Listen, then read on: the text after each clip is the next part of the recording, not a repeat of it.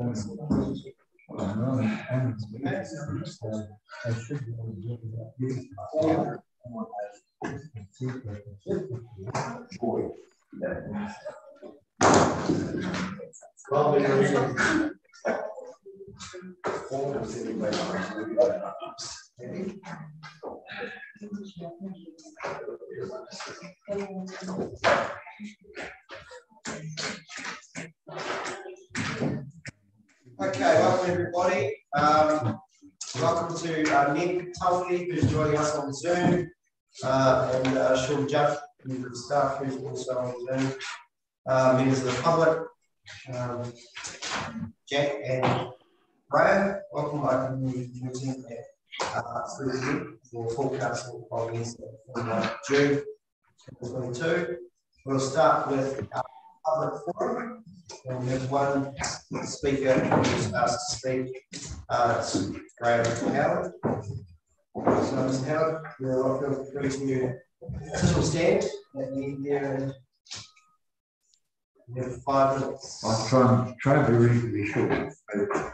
Mr. Mayor and Council, I've come to discuss the uh, uh, Tatman Bar School. Yes. I've come to discuss this um, $40 million compensation that you've got for selling our three, out the three waters. Um, when I look at what you're proposing to do, I think, well, the money that you're getting actually belongs to the ratepayers that have paid water rates for years and years and years. You're proposing a lot of things elsewhere, and that money should either be offered back to those who have paid for, for the water supply, or else put towards their advantage in doing things in the towns that they've paid money into. And I wonder why we need a cultural centre in Westport when we're getting one in Hope and Punakaiki at least at the cost of eight to ten thousand, uh, ten million dollars. That will show all the culture that we need. Um, just how many cultures will be involved, I don't know, but I do wonder why we need to be looking at a cultural centre here in Westport. Um, an evacuation centre. Now, when we look around, we've got plenty of evacuation centres. We've got schools, halls, we've got three schools, we've got the um, NBS building here, and we've got other areas of town. But if Westport is to be evacuated, we don't need them because you'll have to get out to higher ground. So I ask councillors to look at the sensibility of putting in a cultural centre and an evacuation uh, combined with an evacuation centre, which will only take a handful of people anyway. We've got plenty of facilities, as I've said, and we don't need more evacuation centres in town. Uh, I would ask councillors, how many of you have looked at our footpaths in town and gone out on a mobility scooter them? Is there anybody here that? Not one. The town is getting older, getting an older population. We're getting people coming here to retire. We're looking to make the town attractive and attract people to come here on holiday and to live. And if we look at our footpaths. Now, the money that you're looking at, this three and a half million to start with, and ten and a half million in 2024, could well be spent on footpathing and upgrading the area. I've been out on a scooter when I was on the council. This came up at that stage, and I got a scooter and went out and tried it. Now, as late as half past 10 this morning, I was having a cup of tea with somebody, and I mentioned that I was coming to council this afternoon and going to walk, and uh, I thought footpaths are killed. He said, Oh Christ, he says, I'm on a mobility scooter. He says, It's like this. I ask you to look at this money and spend it wisely, people. Upgrade our footpaths. As I told you, Mr. Mayor, when I spoke with you the other day, you'll remember I came here a while back, a few years ago now, and dumped a heap of costs on the table. I can still take you and show you where that quarter of a square metre of moss came from in places. It hasn't been touched at all. Not one thing being done to the footpath. Now, I ask you councillors to look at upgrading, uh, make it more attractive. Drive into Palmerston Street, open your eyes and look. What do you see? A second-rate footpath, a second-rate appearance tower. Please, look at the footpaths and do something about them. They need upgrading, and they need upgrading badly. I don't know what you budgeted for what, it hasn't been advised, but I would ask you to advise the ratepayers and consult them and see what they want. Ask the ratepayers, see what they want that money spent on. You've got 14 million that they're talking about. Ask the ratepayers what they want. Consult them and listen to them. Most ratepayers now will say, well, it's use going to council road, you're just a moat they don't take any notice of you anyway. So listen and hear what they have to say and what they want because it's their money and it's their money that you're spending. Council, I understand, were discouraged from audit by audit department from spending money on three water schemes. And what I see in your uh, uh, what you're proposing to do a lot of it is taken in Three Water. If you sold out the Three Water, we'll make use of it. Let them do it when it comes up. We'll pay for it anyway. So, but don't care. there's some other things that do need doing need doing urgently, which council obviously are not doing. So please listen to what ratepayers want, consult them, and see what they're after and not just go here to the same and say, well, this is what you're getting, and that's it. The other thing I'd like to say is local government New Zealand. I was amazed when I read in the paper the other day we're paying $33,000 a year to belong to local government New Zealand. I brought it up when I was on the council. They're toothless, they're gutsless, and they are a government bend over organisation. If the government say you do this, yes, boss, we'll do it, and that's all you get. And you're paying $33,000 for a are paying $33,000 for belonging to what I consider, and a lot of other people consider, is a toothless, gutsless organisation. We get very little results for it. 33,000 is a lot of money. That figure is correct, it's a lot of money to be paying. And I think you should look at it and say, hey, either you give us something decent and back us up, fight for us, or we leave. Thank you. Thanks, Mr. Howard. Any questions? Thank you very much. Good. Thank you to get a written uh, response after uh, the next day or so. Councillors will deliberate after uh, today's meeting. Um, Jack, you don't have anything you want to add? Good. I don't speak. No, you're more than welcome to attend anyway. Okay, that brings to a close the uh, public forum. So we will uh, agenda proper now. Good. Um, agenda item number one, apologies. Are there any agendas which continue apologies today? With me online. So if there are no apologies, second uh, Ian Roach. All those in favour? Against? No. Motion. Uh, agenda item number two, uh, members interest study any matters on the agenda today to which members wish to disclose the non-financial. Um, interest of the not with this variable. Um, so that is gender eight. eight with the CCO financial statements. And, and the other excluded Right here.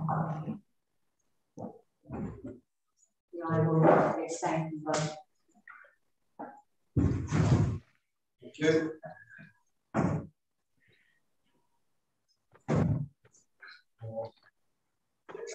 Any others?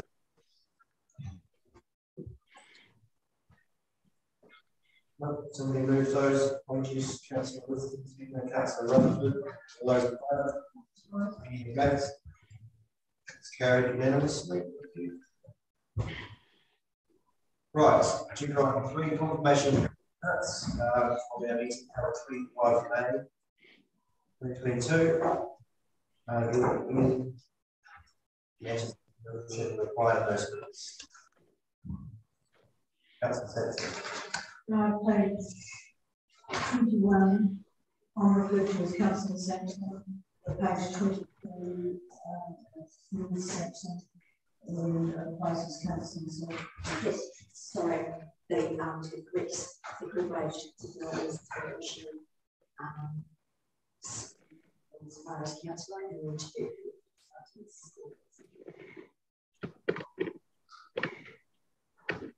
Well, there's something. I guess the question is, it is, this Yes, I don't forget.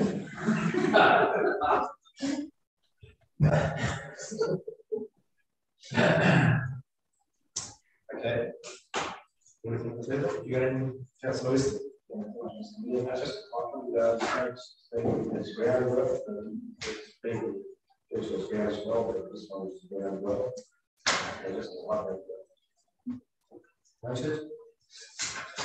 Deputy Mayor? I think through my meetings, thank you, Jennifer, updated them to, to diligence, so just for those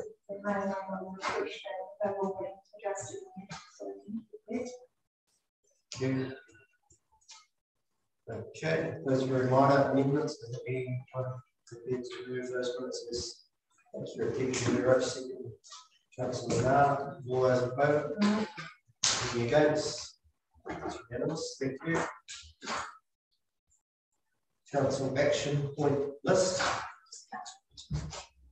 So, we'll receive, nothing there, I'll move that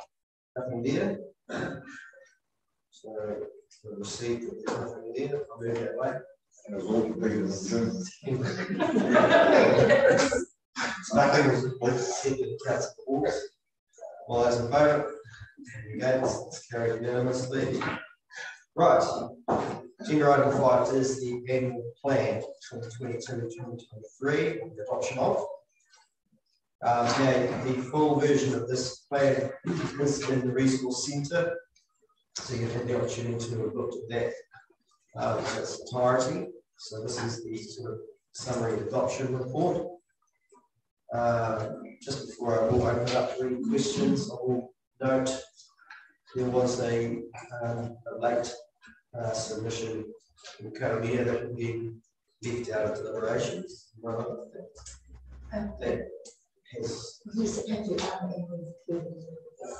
yeah, so that's, and my understanding that was for a continuation of grant anyway, and so that will be um, automatically included as part of that. Um, that already, you know, pre-deliberated uh, decisions of council. Um, so I just think we'd just like to acknowledge the process, I think acknowledge the staff, um, and the trainers that work task each year, and uh, councillors that uh, made themselves available for um, the drop-in sessions around the district, and um, and also the um, submitters um, from across the district who took the time to put in their um, submissions, and I think we did a reasonably good job deliberately deliberating on each of those individually after hearing the verbal submissions. Um, council took on a lot, quite a lot of that uh, feeling from the community and the feedback of those submissions, and um, it's largely reflected plan we could. Um, but noting council is under um, significant inflationary pressure and cost escalations as a household across New Zealand businesses as well. So I think this plan reflects a balanced and slightly pragmatic view of how we maintain our service levels um, as best we can in the current environment. So with that, I'll open it for any questions and then we'll work our way through the recommendations. Um, Can we take, um, the minutes first of the independent declarations? So in the resourcing now, Yep. the It's not actually a recommendation around it. You want to discuss something? We I do want to discuss two items. And, and because there's no recommendation, but, but surely we must be done, surely there should be a recommendation the, what's called the minutes, which is in the resource centre. Because they, they are the rights are carried continuously or not, and therefore we must surely accept them as a true correct report of the county planning corporation. That's a, that's a fair point, we can add an additional resolution to accept. Okay, so Can speak in Yes, I can tell what we're going to be doing for that. And the meantime, so I would refer councillors to the resource centre on diligent. Um, elected members chair. Just so everyone finds it. It's under council report. Council reports and- and 2022, 23 in the plan. And the minutes are separate. Um, tab there.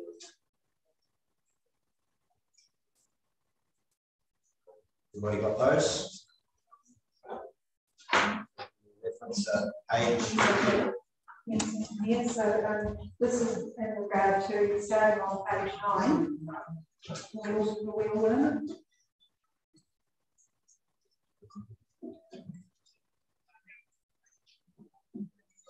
So that starts at the top of the page, what's he? Yes, indeed.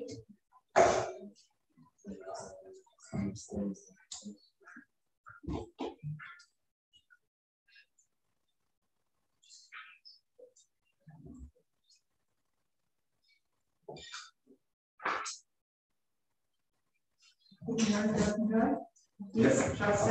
You can start.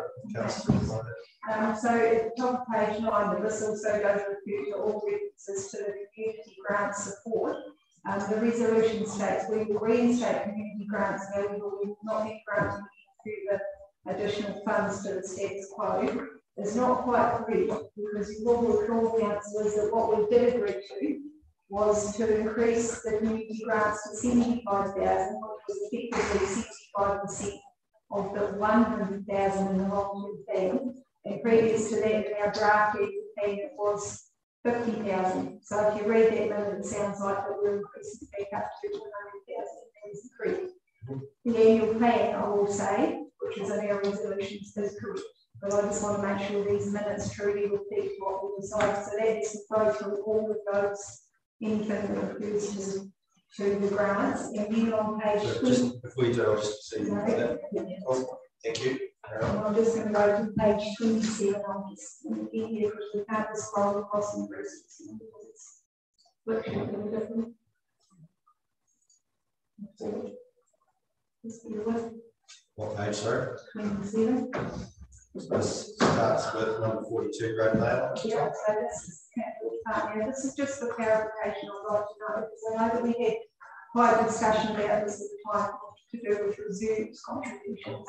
So what it says in the commentary is that hundred and seventy thousand is allocated, allocated to reserves fund.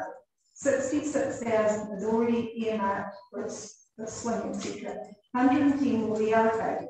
Sixty for disabled toilet and Karamea, then fifty unallocated remaining.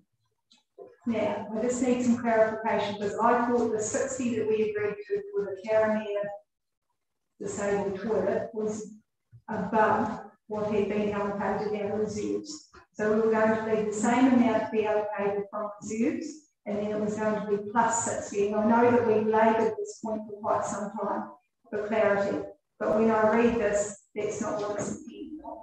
So I need some clarity around that, that we all agreed it was one seventeen, it's already in the budget, and it was going to be plus sixty. Mm-hmm. That was my understanding. So, thank you. Yeah, that was my recollection for it, and you just described it. Mm-hmm. So then I'm seeking for an amendment to this one as well to be assured that that sixty doesn't come out of what's already been allocated, because otherwise we'd be taking something else out, and that wasn't the intention. Yep. So, um, there are two amendments, please, to, to the minutes, and based on that, I'm happy to move. So let's be clear on what what next to stadium. So one seventy they allocated to reserves funding.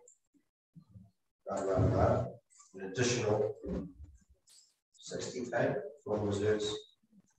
It was one at the carry. So sixty, fifty, you agree on? What is the wording you want it to repeat? Well, what I'm basically wanting to repeat is that anything that we approve within this, within after the deliberations, it's over and above what was already in the budget for reserves. Okay, so that's the Karamea toilet and the King George Park, if that wasn't already in the reserves. So that, that's just needs that clarity around exactly what our intention was. Otherwise, what will happen is it will all come out of Zoom's already update people, something else you can see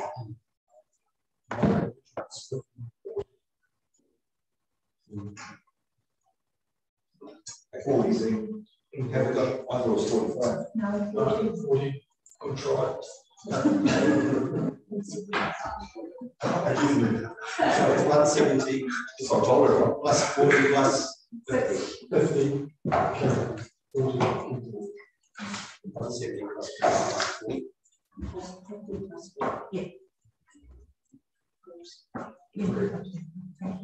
Okay. That, clarification. Okay, and so we'll propose an additional expression. Um, yes. Okay, so we go back to the agenda proper now. Unless there's any other questions on those late deliberation minutes. So we'll be passing them as correct shortly. Rightio. Any other questions uh, around the annual plan? Well, we, sorry, we're back into the end plan and then, Yep. yes, I mean, I'll just, I'll just drop down, um, diligent. So you have to be- sorry. Any other councillors have any questions, comments of the- out of the annual plan? So we can discuss both. Councillor Rutherford. Yeah, thanks, Mr Mayor. I'm not sure if it's seeking um, comment on the resolutions or a general discussion. Um, I'll take the resolutions. Um. What, what do you want to, what's, Thanks, Mr Mayor. Well, I- I- when it comes, push comes to shove, I want to just say again how disappointed I am in point five percent increase on our ratepays. Um, I was not all that keen on our reinstating the community funding, as you'll know. I spoke to it at the time. However, I've gone back and looked at the minutes and said the only thing that I voted against was uh, dogs, uh, our local area working dogs. So that's pretty small bananas in the overall scheme of the, of the plan. Um, had I, had I actually voted against these community allocations, I would also to vote against uh, adopting of the uh, plan. Um, however, the evidence shows that I've got it, so I will be supporting um, the uh, when time comes. right, thank you. You ready? And sorry, apologies. Just deal with questions and then we'll, I will go to the, to the, what I'll see. We'll do the resolution one by one. Okay, Mr. Mayor, and this is just to do with the body of the report, not so much the resolution. So on page thirty-six, we talk about start, uh, sorry, submissions and deliberations. It's they nicely see out there the main points from those. But I think, uh, somebody would correct me if I'm wrong, but I'm, I'm thinking in amongst this, also should have been included some reference to the Punakaiki community facility. That was quite a major um, deliberation point, doesn't get a mention in this part. And I think it should, for clarity, that the report actually refers to it. Um, it talks about the carryover funding on page thirty-six, which has increased. Um, and I think that, I know that the Premier Climate thing doesn't make difference to rates, so I still think for clarity, it's. So also do, do the um, what I've just talked about with um, paying reserves. So once again, just for clarity within this report, if anyone we get there look at it, to clearly see that these were the matters that councillors debated in the deliberation. So what I wanted to be added to the body of this report, which once again I will say does not affect the resolutions, but should be in the report, uh, is the carryover of the Twin Community Facility, the two reserves, George Park and the Caribbean campground for the disabled chair. Please.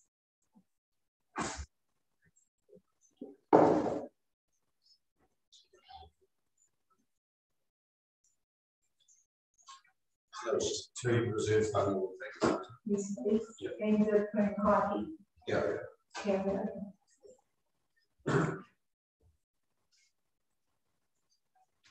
That be noted, is it? Yes, and um, it gives the, um, one of the recommendations is for um, the CEO to approve. It says minor editorial amendments, but if councillors are happy, I'll make sure that those land. And I'll do the final check on the language with you, councillor Roche, before we submit it to councillors. are happy with that.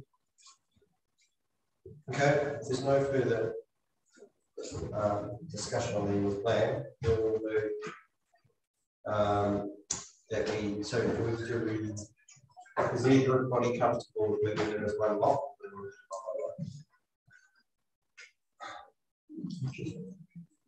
Sorry, just, well, I just wanted to, um, just note, I know that Councillor Rutherford was, um, you know, basically, um, saying that, you know, we're all well aware of the impact of senior process. So I just want to acknowledge the fact that um, all the councillors around the table all approach with exactly the same view to absolutely minimise the impact um, wherever possible. And I'd like to just note too that in, in the summary within this agenda, it's noted that the LDP is 6.3 this year and it's, it's climbed to, um, to, to 9.5, a difference of 3.2 percent and that's in light of the fact we're all looking and thinking inflation running two percent, but in fact it's running six point eight percent, and that's due to, that's just the, the, um, the inflation rate for households, and we all know that council um, operations um, operate on different set of and that includes a heavy um, impact on fuel oil prices and also other oil derivative prices like ash prices, which puts it in a higher percentage than than the household increases of around about 69%. So there has been an awful lot of um, anguish gone into trying to, to, to angle that. I just want to acknowledge the fact that you know, people around the table have gone through that process. All right, well, with that in mind, we'll move.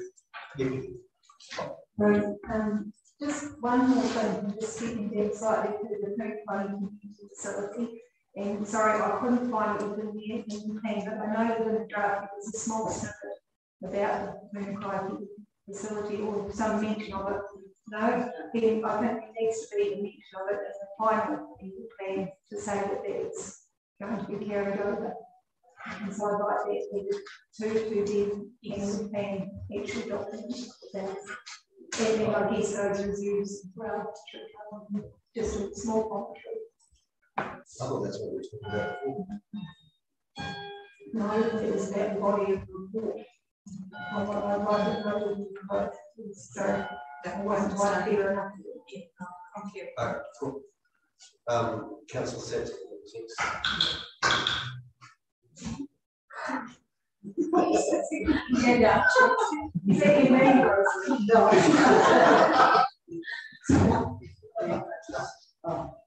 Councillor. Um, it's second against? Um, I just want to reiterate what, um, Bill said regarding the, uh, increase. I was really disappointed to see rather than five. Um, and while, while I can't make an excuse, I wasn't here for the final part of deliberations, point two in, increase for staff over and above the two percent that was in the budget, I just feel is probably where I would have voted against it if I had been here, and should have seen that not go ahead because the district were on limited incomes and raising that much that's like not a consent, but it is. Thank you. Councillor Rutherford. Well, yeah, thanks, Mr. Mayor. I was just trying to get things rolling along. I'm very happy to move uh, recommendations one through that. Thank you. We have a seconder. Councillor Pause. Um, any further discussion? Thanks, Mr. Mayor. I probably shouldn't use the word happy. Nice. Um, there is, okay, just before you do, Councillor Rutherford, we, we'll add a nine. The council will receive and confirm minutes from the annual plan deliberations meeting on Wednesday, the first of June, and Thursday, the second of June. With that addition, additional resolution, we have to have one through nine. Subject to those amendments. Subject, yeah. Yeah. to amendment. subject to the amendments as discussed. That, so it's one through nine. So all council rules. We need to read them out. I'm just thinking. Okay, so we have a moving second, all those in favour? Any against? That's carried unanimously. Councillors. Right. Agenda item six is the setting of rates. Um, This is very much, well, let's stick to the, um, this written, I imagine, is there anything to add the report? Ms. Brooks? Thank you, Mr. Mayor. Nothing to add, this very much um, is written. This is um, in line with what's just been adopted in the previous um, item for adopting the plan. So this is a statutory requirement. There isn't a of um, ability to make any changes the process. Thank you. Any questions, councillors? Okay. So.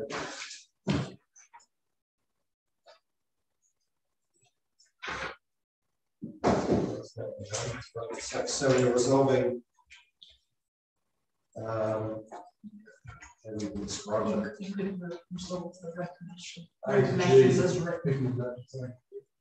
Yeah, recommendations A to G as written, which is the setting of the rates and the small due dates. Um, water meter due dates. The, uh, installments or unpaid et cetera, et cetera.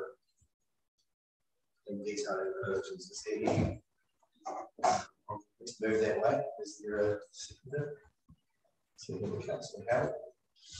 Any further discussion on matters? All those in favour? Any against?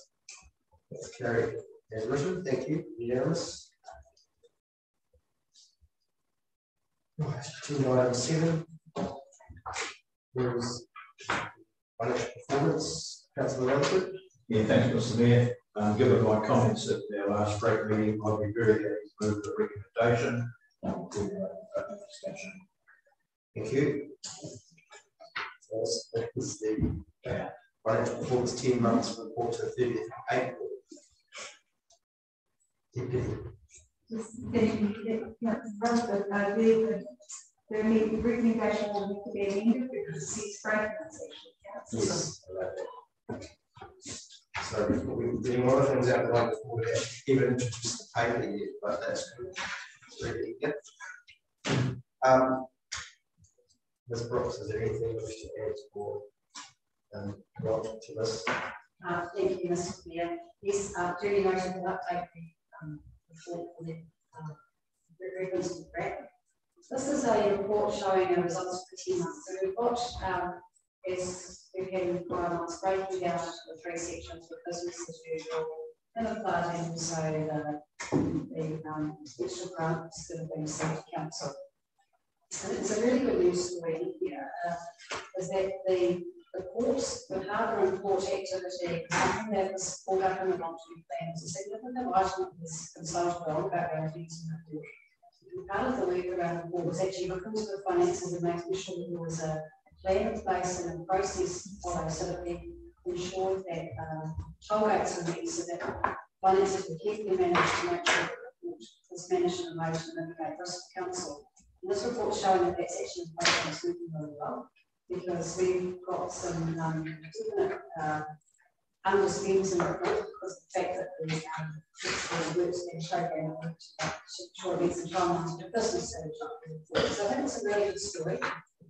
Um, the information in this report is subject to um, final end adjustments. So we've got two more months of reporting to show you and these will certainly clean up, end of year tidy up around grants in advance and other things like that. But what we're seeing here is a lot going on in the council, but actually looks like business as usual, finances are running pretty well. So it's, it's a really um, good story for the whole Thanks, Ms. Brooks. Any questions, councillors? And my apologies right up front, but I need to got this question in advance, so totally if you can't answer. It's just been a busy few days, week from to read it. Um, it's just with regard to expenditure on amenities and reserves and wastewater. Um, the comments around uh, savings across a number of activities, mainly in R&M, that's for amenities and reserves. And while it's great to have some savings, I guess my question is around, I hope, is that, I'm hoping that's not at the expense of the other service, so not deferring maintenance. Um, is it that the maintenance never occurred? If you get my slight difference. Um, because I don't want to see us get into the new year and find that we deferred maintenance and we had a surplus, but work should have Thank you. I think that's the uh, prospect was have a property manager for eight months. Um, however, we had people covering positions, so all things were um, any emergent that came up, and, and we are putting those asset management plans to ensure things in place in the future. So nothing got deferred over in this completed as needed to be, just on a list go.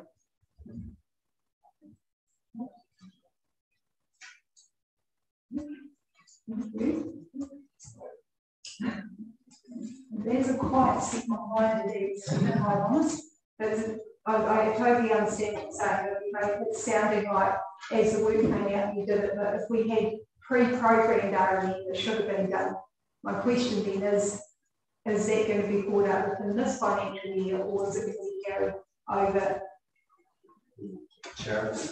Thank you, thank you, Deputy Mayor there will be some work carried forward um, and the rationale behind that when we have vacancies um, whilst the work programme was there it, it, didn't run to a timely um, fashion plus with COVID and with the um, um, the floods as well. So that there will be um, I expect a small amount of carryover there's been no intentional savings to save money. It's just been a range of time so we've deliberately not not done something to, to save money, uh, is what I'm trying to say. No, I totally hear what you're saying. I guess my, my further, may I something? Yes. Um, my further thing is the, that we, so we've rated for it to be done this year. It doesn't get done, it gets carried over. It's not a carryover like a keep, it's going to carry over. So that's a cut off at the end of the financial year. Next year, the work needs done we haven't rated for it in that year, so we have to accept that there'll be an overrun in apparently in last in next year, because we're not rated for the same number in two years Ms. Brooks? Let's try to assist um, uh, the budgets that have been set in the annual fee, the reviews being made of the uh, expenditure required in the activity to is sufficient to meet what's needed. So having a look at what the budget was proposed and making sure it's going to meet the needs going forward, taking into account that we went well on track this year. So there is a sufficient budget there to keep up to date with what's needed, we believe, in this budget. So that have a look at what we haven't actually cut, cut that and just and not actually creating a bellwether of work us. We've actually got sufficient budget to meet the needs of all of the resources. And additional done to this is supporting. I, I absolutely hear what you're saying. I've, I've just, sorry, we've rated for it in this year. I hope to go on about it. They sure we were rated for it again next year. So we haven't spent what we've Are we double rated? Okay, insurance. Knew this, but I'm not gonna lay it. Councillor Hawes? Yeah, sorry, would it not be correct that, I mean, you've identified hundred and sixty-one thousand dollars of reserves contributions coming to communities next year? Is there an element of top up to the work that wasn't complete, perhaps coming from reserves contributions? Need that rather than raising? Thank you, thank you, Mr. Mayor. So the reserve fund contribution is capital work for new and improvements on the reserves. Um, so these are, these some improvements in that area. I believe the question was initially brought around whether appears is under budget for this, for this current year. And others, so the question I believe is, is it being double rated? The um, answer is the funds go into the general fund available, and so therefore the work is scheduled and the same plan is not Perhaps we're mentioning the reserve fund contribution, not system. Thank you. You finished with that one, Deputy? Oh. I'll lay it Fully answered? I'm not gonna go on that. On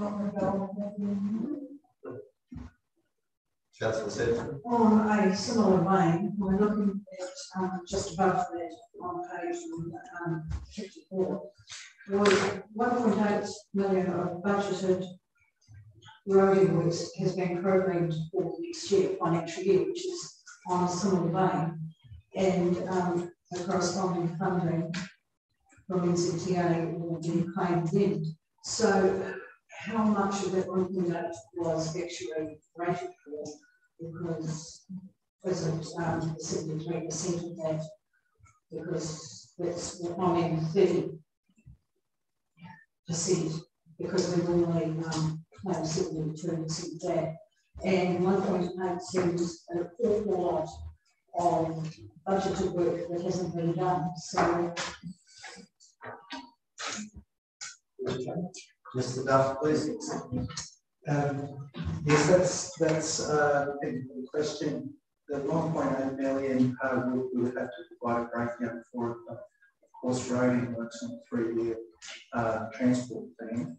And, uh, and actually provision to do, uh, shift within that period is, is, uh, um, allowable certainly for the, for the agency fund contribution.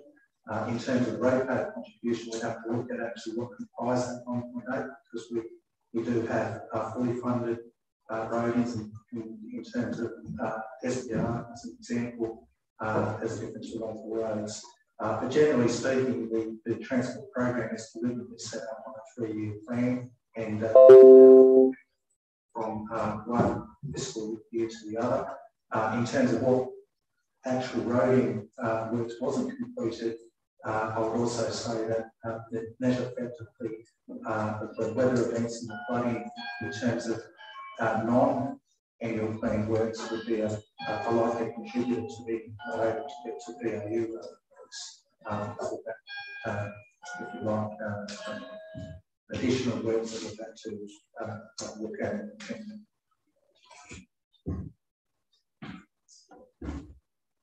No, because the same you know, you're saying over a three-year um, period, and this is saying one point eight has been programmed for the next year. So it's one point eight just next year, not over three years. That would have been done this year. And what I was just going to say, I think what he's saying is that the work program is a three-year program, and they the ability to move within the three years the actual jobs. Within that envelope. That's great. Any other questions on Councillor Rutherford? Yeah, thanks, Mr. Mayor. Relatively small bananas compared to what we've been talking about. I see in the income for amenities and reserves a bit of a commentary around uh, lower income from leasehold, I presume as a, as a consequence of uh, people who are in the residential leasehold properties have freehold them. Uh, and the other thing, of course, I noted is that the debt recovery from the brewery side. I'd like to know what steps um, management is taking to recover that money. We're pretty, um, we're pretty keen on following up with ratepayers who don't pay. Um, what steps are we following? I, I know that so it's unlikely, but would hope we're using every avenue open to us to attempt to recover that. Um, lease.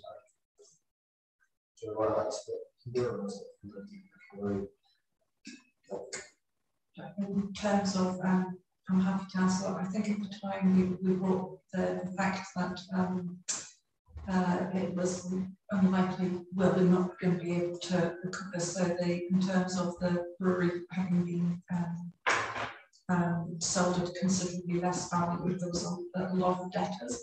And we had a discussion as, as council, maybe even at FRAC, that actually what was important was whatever money was paid back actually went back to the local businesses who were owed money.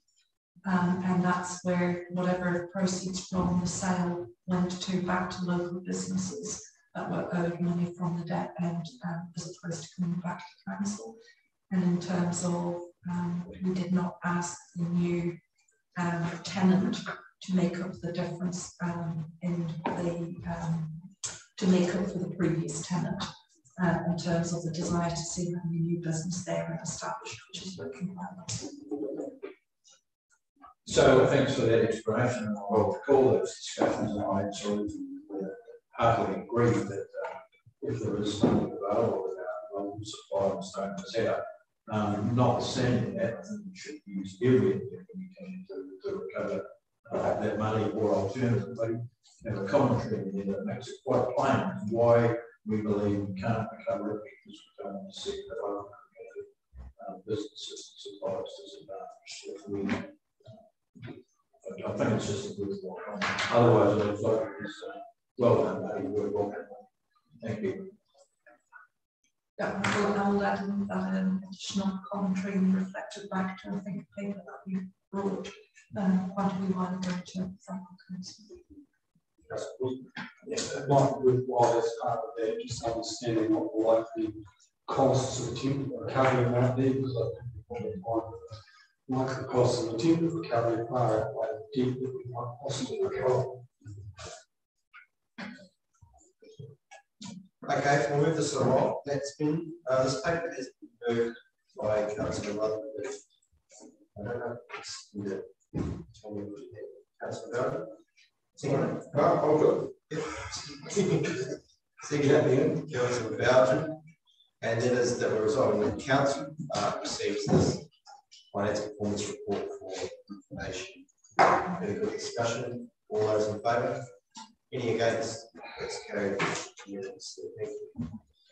Right, agenda item eight is the CCO uh, final statements of intent for our four entities there. Are there any uh, questions out of these before we receive the discussion? First, uh, holders. Yeah. Or recreation.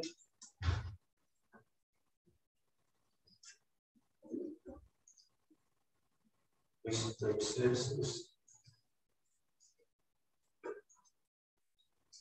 And um, municipal airport. So seeing any questions. So the recommendation is the council receives the final statements of the year 30 June 2023. Those are from those companies, BHL, WestReef Services Limited, and Westport Airport Limited. I'll do that way. That? Councillor Montgomery. All those in favour? Any against? Councillor Miller's abstention for conflict. No carried uh, unanimously, no abstention. That's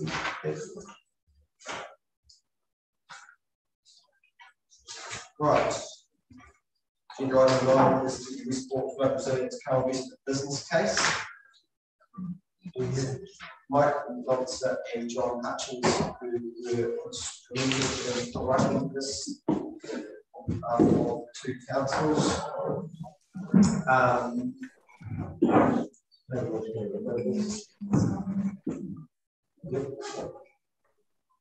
So, um, Deputy, he's gonna just do a quick You to intro. Yes. cool, That's fine. Um, so this is the, uh, this is John Gardner and this is my so I will send to the Jason Rachel Chandler to introduce the paper and we have the, um, the uh, pen holders there to, um, discuss any questions. we have. Thanks, Rach. Thank you, Mr. Mayor. Uh, it's an absolute pleasure to be with you of this case for councillors today. I'm honest. It is the result of a huge body of work. It's a fantastic collaborative contribution and a number of people. So I'd like to start by saying thank you and express my gratitude to. I'm not going to try and name them all, so absolutely forget some of them, with the exception of the two gentlemen on the screen, Martin Johnson and John Hutchins, who would be fair to say have done a really good thing on this and become honorary members of our team throughout the process. So thank you, James, very much for being the fantastic and putting this paper. As councillors are aware, the opportunity to be presenting this paper has come out of the work we've been doing through the Buller Flood Recovery Steering Group, which has brought together our council, the West Coast Regional Council, Department of Internal Affairs, National Emergency Management Agency, Ngāti Waewae, to really start having a, a serious conversation about flood resilience for Westport. This has formed some great collaborative working relationships, which has then presented us with the opportunity a request from uh, Honourable Nanaia Mahuta, the Minister of Local Government, to put forward this case for co-investment in a flood resilient Westport. Four months to get that done has been quite an ask in quite a short turnaround time. But the way we've managed to achieve that is because we've had the benefit of work that's gone on over a number of years by a number of groups and a number of people addressing this issue of flood resilience in sport. We've had the Westport 2100 group, the Te Tai o Poutini plan, work this council has done around building regulation, climate change adaptation. All of these things which have been happening, but which we never really had an opportunity or mandate to bring forward into one package and put forward as a, a multi-tool, as we described it, a multi-pronged approach to flood resilience for Westport. Because there's no one answer to flood resilience, there's no one solution. It takes a whole range of things, and as you see from the read the draft proposal, a whole range of different entities and organisations and people have input into that. And one of the challenges is getting all of those things together at the same time to move forward. And unfortunately, it often takes a natural disaster to be the catalyst for that. We've had that, but we've had multiple times in the 12 month period. But from that, we've had this opportunity to actually put our case forward and how we can, to be perfectly honest, not have to do this again. Not find ourselves back in a situation where we are recovering as a community from multiple severe hazard events. And we know that these things are likely to occur more often and they are likely to be worse. There's a large body of national government reform going on at the moment trying to address some of these very questions. But what this opportunity acknowledges and what's acknowledged in the paper is that this one is just a little bit ahead of that curve. We can't wait for that national decision making to be made before we start having some of these conversations, some of these. Because we're dealing with this now. Our community is anxious. They want to be able to move forward and make decisions with some certainty about their future. That's why we're putting this proposal forward now with the security behind it, asking for that support and that investment, not just in a hard defence structure, but in that multi-core package to deliver real resilience to the sport over that short, medium, and long term, because again, you can't fix this, this sort of issue overnight. So the, the paper, hopefully, in the report are fairly self-explanatory. As Mayor Cleine pointed out, Sharon, myself, Mike and John are available to answer any technical questions councillors might have. Councillors have also been emailed some editorial amendments to the business case since it was put into the agenda. I don't propose to read through them individually unless figures wanted.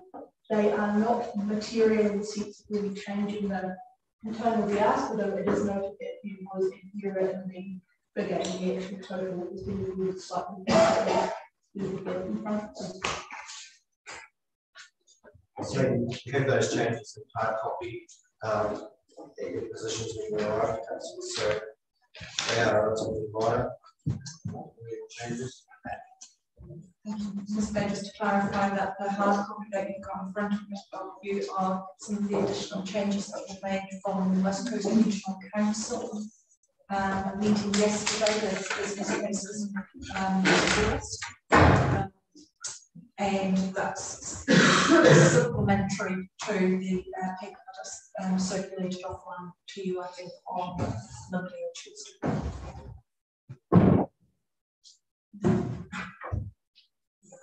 Yes, so I might now just go to our, our team online. Um, Mike or John, um, is there anything you'd like to add further to what Rachel's introduced? Uh, Tēnā koutou Mayor, Jamie, councillors, staff. It's lovely to be part of your team. Uh, Mike and I have enjoyed this journey over the last uh, four and a half months. It's certainly been hectic, uh, but I think highly effective, as Rachel has outlined. Minister Mahuta's expectations were quite clear. That 15, 17 February letter spelled those out. There are a few hoops to jump through, as you know. Uh, you've ridden through those hoops uh, with us. And right now, you have a Westport flood risk mitigation scheme, uh, a proposal. And, and, we, Mike and I, want to emphasise that point. We know, Mayor Jamie, you're well aware of it. It's a proposal to receive funding, co-investment from the central government. Quite frankly, we won't have a project but we know we've got money. Uh, then it moves to a different phase and we're into special consultative procedures, we're into resource consent procedures, we're into property access matters, we're into detailed design, etc., and we move forward. So $56 million for this mitigation of risk proposal, 45 million of it being requested from central government. Uh, the business case, in our view, is robust. It satisfies the better business case framework that Treasury have us live by. Uh, and it has, we hope, your voice well reflected in it. Uh, Mike, you've got a few more comments to add in there, I think. Thanks, John, and good afternoon, councillors, and thank you for your time. As we mentioned in the workshop, um, a, a, few weeks back. We are actually a case study. So the Ministry for Environment has actually named us in the National Adaptation Plan draft as, as a case study.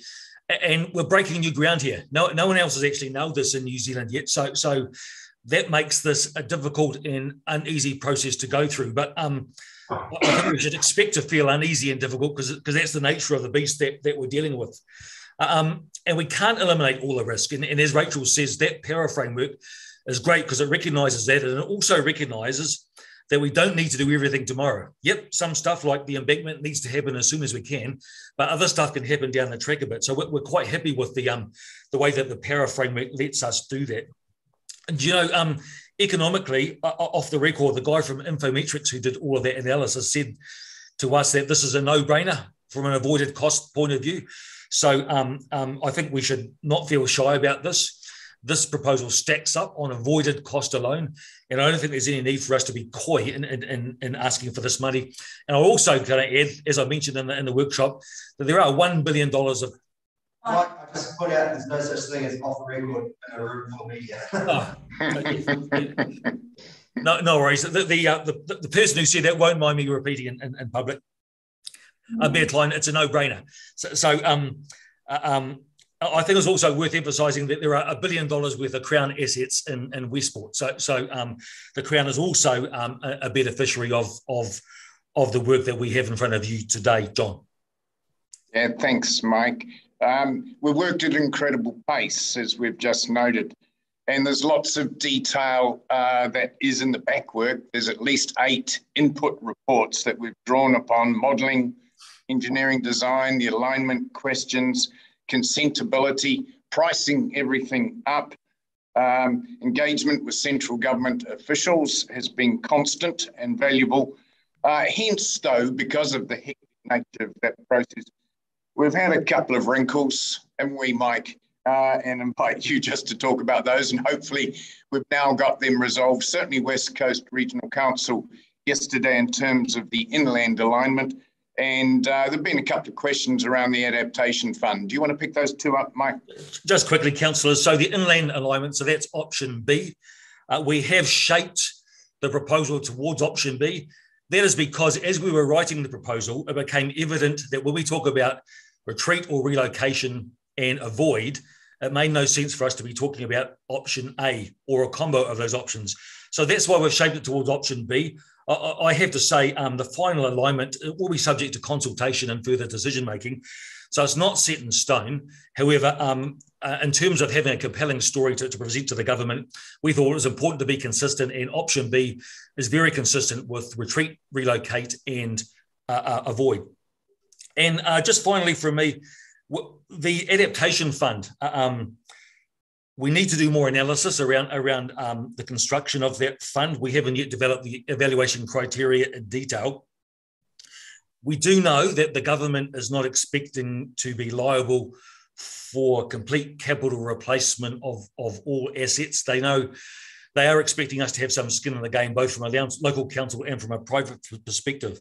So I think it's a bit of a balancing game with the adaptation fund between uh, making sure we don't detract from uh, um, the other elements of the investment plan, particularly the ring embankment, uh, um, whilst making sure that we are uh, actually uh, um, getting a decent lump of money to help us uh, um, to help other to help residents to actually do things when the time comes to adapt. So that's it from me, John. Thank you. Yep. So just to close out, Mayor Jamie, um, we're at closeout stage. Uh, the minister expected the business case by tomorrow, and I think all going well, uh, we'll meet her expectations.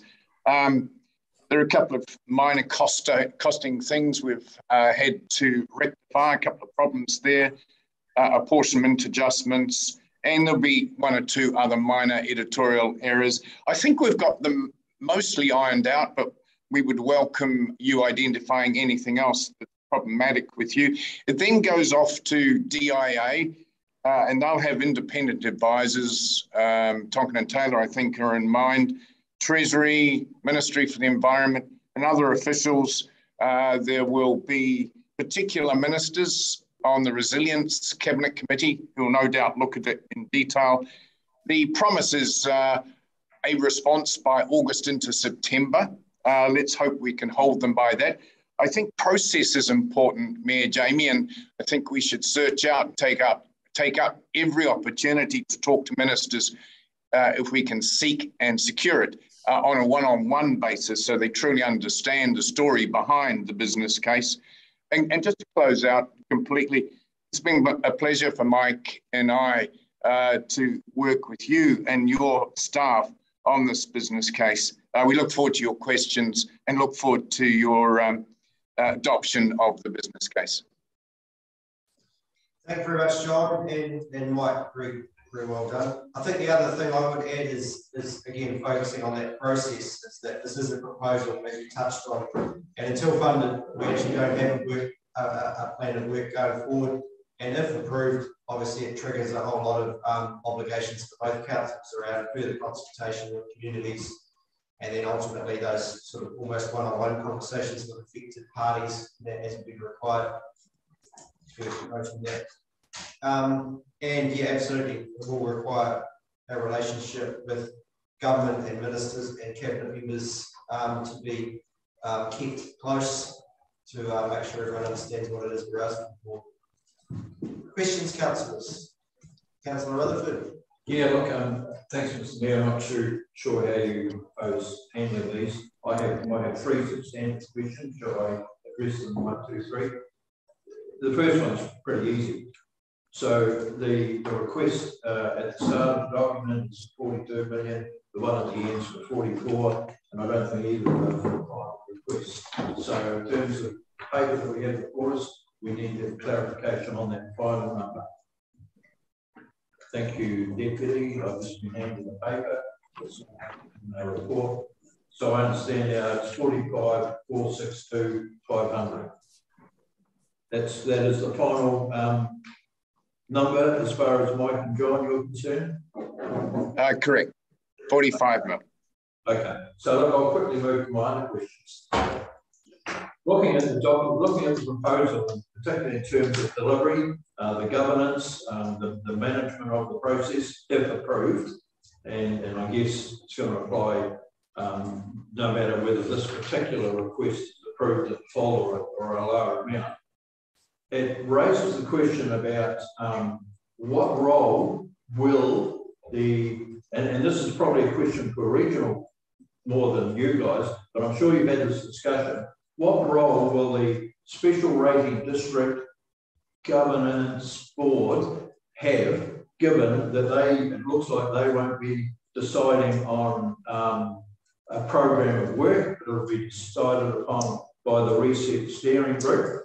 And in conjunction with that question, does it now mean that that work approved by a previous at a previous um, governance meeting and directed to West Coast Regional Council, i.e. specifically the remediation work Morgan's Island and the um, scouring it uh, by their kind home. And of course, also approved was the flood wall starting at Kitoki Bridge and moving up to towards O'Conor How will that work be impacted if we're going to sit around and wait on this funding? Is that work no longer going to proceed? Again, I say you might not be the right people to answer, but I would hope that discussion has been had. Guys, I'll go to um, Deputy CEO Rachel Chalmers first. Thank you, Mr. Mayor, and John might feel free to jump in if you can tell that I don't run the election of the regional council here, but certainly this this issue of the joint committee of West Coast Regional Council a long long-term plan being on its path and the steering group and the slightly different path has been incredibly well canvassed by both groups throughout these conversations. The way it's been managed to date is that the steering group is a standing agenda item of an update from the joint committee so that we're making sure that there's a feedback loop between the two entities because the joint committee has its role, which is around that particular project the Regional Council, and the steering group its role, which relates to the up now the original appropriations through central government.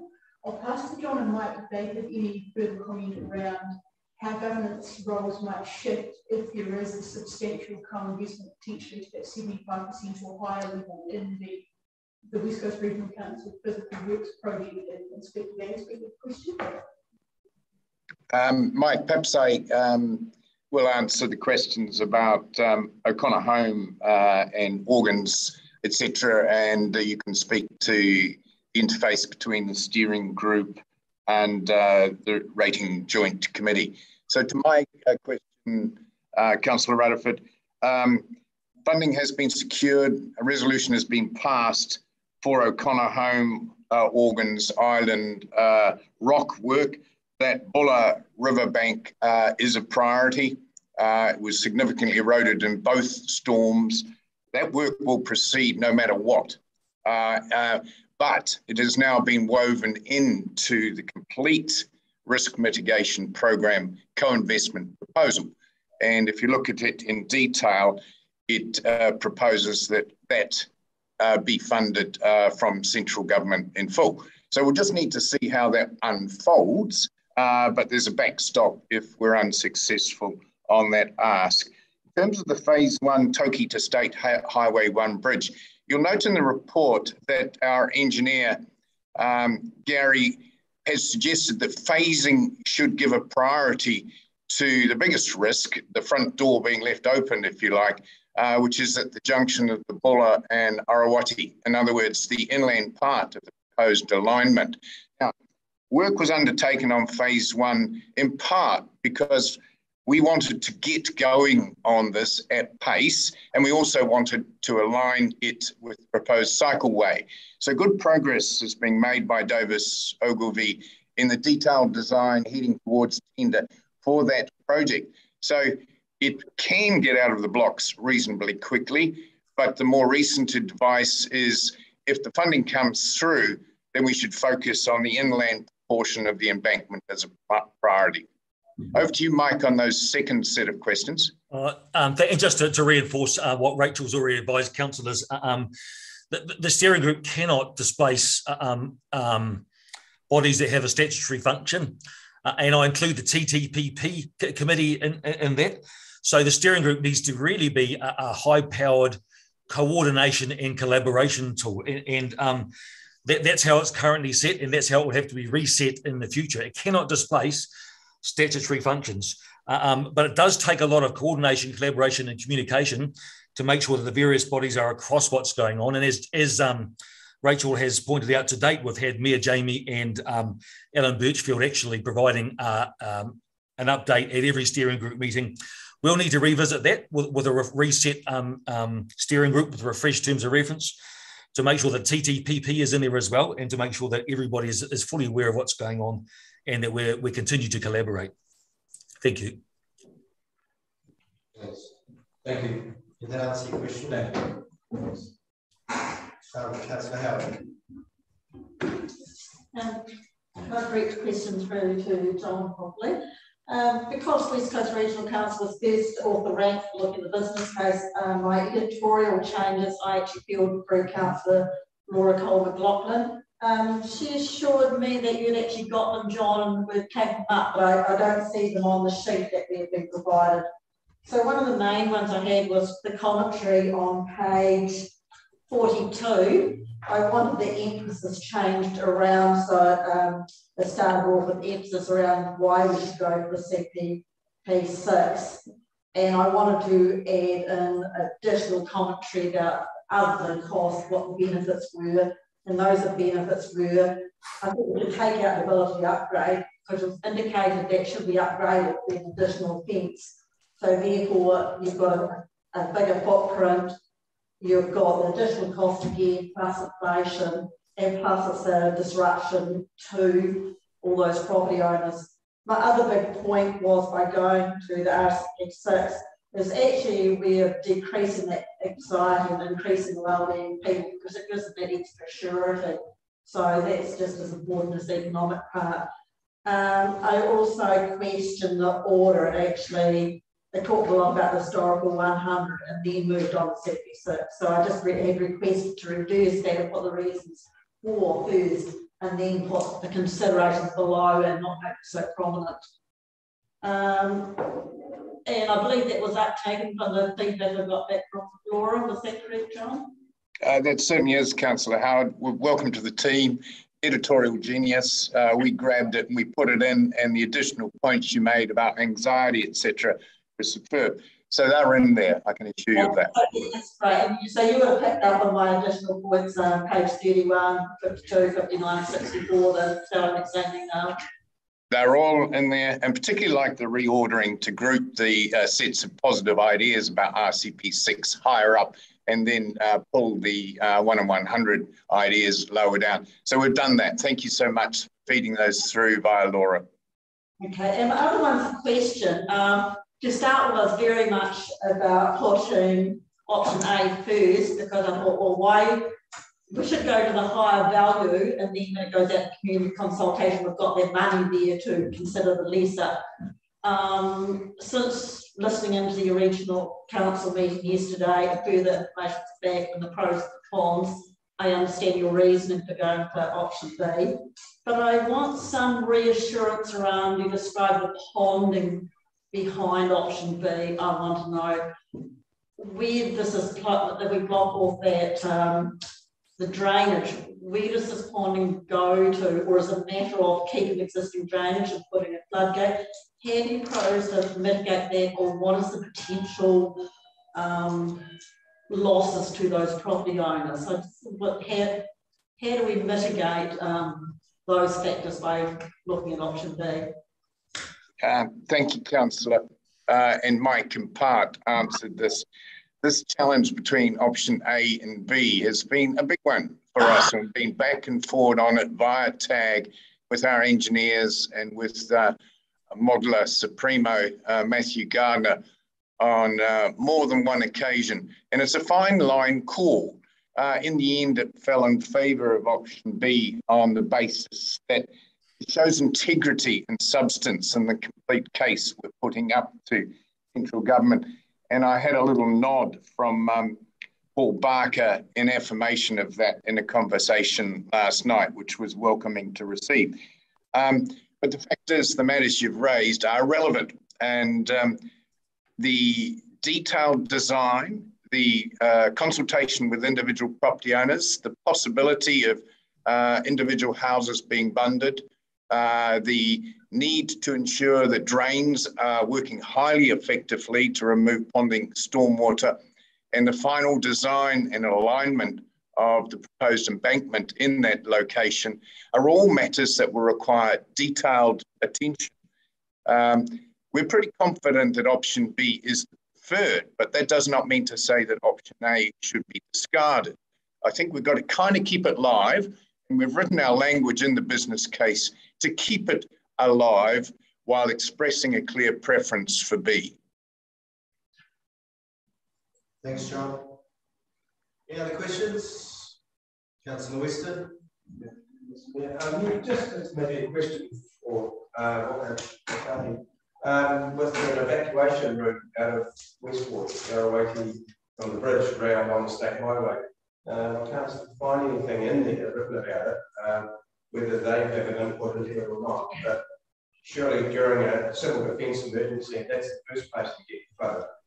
Uh, just wonder whether that has, has been raised. Um, Mike, do you want to comment on that? Certainly, we've considered the need to uh, put evacuation plans on steroids uh, and have them uh, well telescoped in advance of, of the flood. Uh, but in terms of the rejected options, we looked hard at whether there was a culverting option on either side of that embankment leading up to the Orowaiti. It proved quite troublesome, and its contribution towards flood mitigation uh, was minimal, was uh, Matthew Gardner's view on it. Plus, the constructability within uh, a, a, wetland of some significance uh, would have proved challenging from a resource consent uh, point of view. Um, so, Mike, on the evacuation question, we absolutely accept your point, Councillor Weston, that it's a critical route. Uh, and uh, we've had conversations with Waka Kotahi about ensuring that in their planning, uh, they move forward in their, um, their 50 year strategy. Uh, they're, they're looking at both bridges to ensure that they're able to deal with these floods more effectively than currently. More to add, Mike? Yeah, so what, yes, Councillor Waka Kotahi was engaged in engaging throughout the process and, and very forthcoming, actually. So, so um, they definitely have an open mind. Uh, towards uh, um, the tail end of the proposal, we, we, have got a proposal there for a sum for civil defence, uh, or I think we're calling it a resilience officer, to assist with um, evacuation planning and to help pull together uh, um, sort of some of the operational evacuation issues that that uh, um, have been vexing um, some residents. So um, that's where we've kind of uh, pointed to with respect to working that up is, is to use that uh, funding either by hiring a person or via um, a, a secondment to be the focal point for the sorts of evacuation planning that you are talking about and to bring together all of the relevant stakeholders, including Waka Kotahi, to make sure that those evacuation plans are, um, are understood, are socialised and are enduring. Thank you. Thanks, Mike. Councillor Hawes? Yeah, not a question, just uh, acknowledgement. Um, I didn't think that you had a snowball's chance in health of pulling it together in the time frame you have. You know, I just want to acknowledge that I, I was, you know, I admit my mistake. You know, I absolutely um, taught all people to put so much work in to get it to the stage on behalf of um, Westport um, residents. So, really, congratulations all, all the team. Um, and it must have been a real team to have got this far. So good on you. Appreciate it. Thank you so much.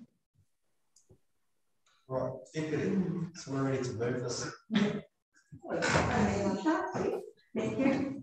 Um, Council has got an ahead of me. I was going to say very similar things, and I, I have expressed that to John and Mike in the past. So well done to you guys and to everybody that needs involvement in their own team, and um, those that aren't here that we can't thank um, because it's just an outstanding role. Thank you. Um, I do have a, a few things, but um, and I to say thank you also that there was a few comments that I have through to the CEO and that have made it through to the CAP. I do have a number of quite minor things that I'm not going to, to bring up here, but I'll give my copy to be scanned to send, send through to you. A lot of it's probably already been picked up. But my major thing is, and it's not going to be a showstopper for me because I'm not going to let it be. But my question is, just because I like it recorded, is around um, what's been allocated for resource consents, owner agreement, council project management, and final design.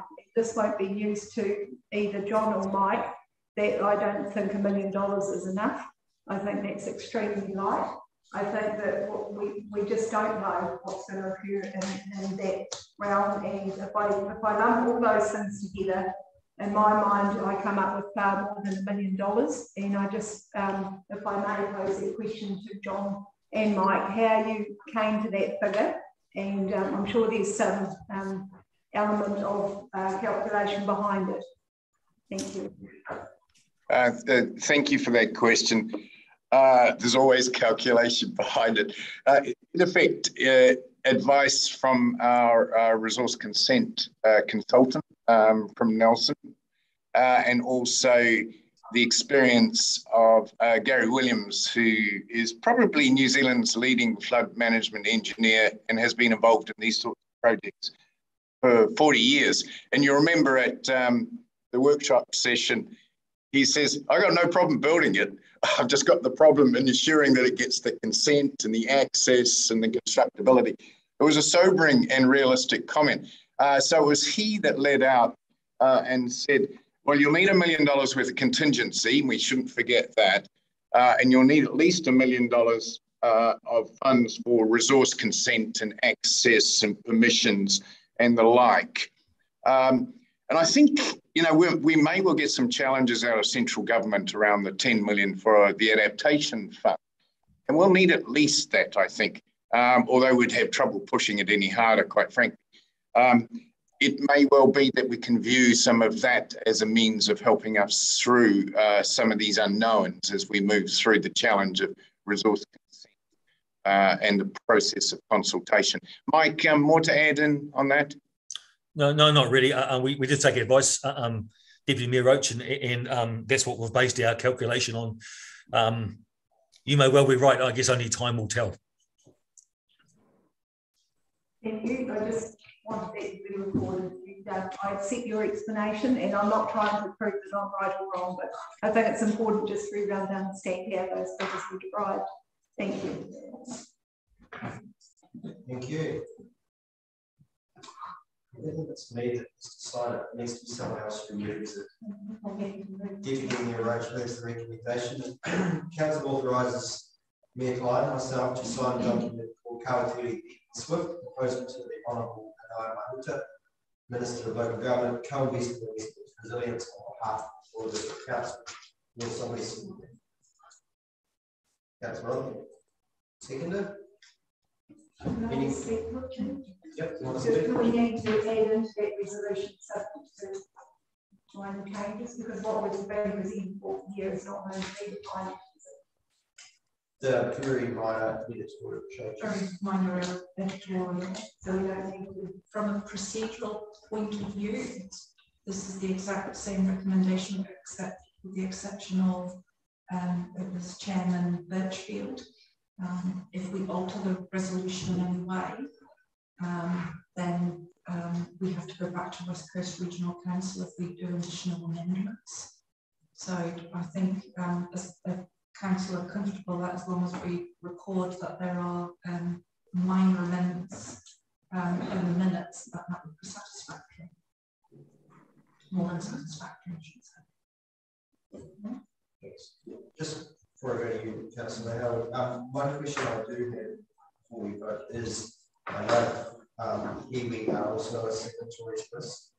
Is there any feedback that anyone can share with us around iwi's view on the business case? Uh, yes, Mayor Cleine. So, so um, it, um, we're in touch with Francois and Ngāti Waewae. Um, at, at, this stage, they are comfortable overall um, with a couple of um, uh, qualifications, which we have included in the business case. So I'm actually in Francois at the moment trying to get his electronic signature so we can add that to the document. So uh, as it states in the draft, uh, uh generally speaking, RTYY are, are supportive.